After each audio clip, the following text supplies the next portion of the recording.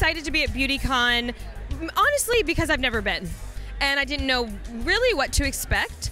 Um, for me, beauty is not about, it's not really about the makeup and the stuff that we put on. It's about who we are and letting that come out and letting that shine. And it's exciting to go around and find products that really enhance your beauty, but I don't think that it's what we wear that makes us beautiful. For one, I'm 36, and no, it's true.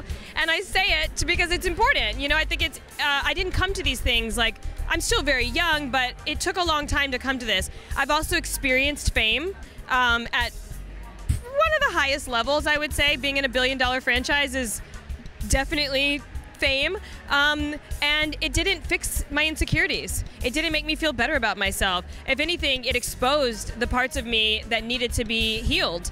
And now I can show up in places like this and really be a champion for these young people to know that this is a fleeting moment. It comes and it goes, but you you remain and loving yourself is what really matters. We can try the latest beauty trend. You can you can put your hair in a wrap. You can do all these different things, but at the end of the day, when you take those lashes off and you wash your hair and you look at yourself in the mirror, you actually have to feel beautiful, not just look beautiful.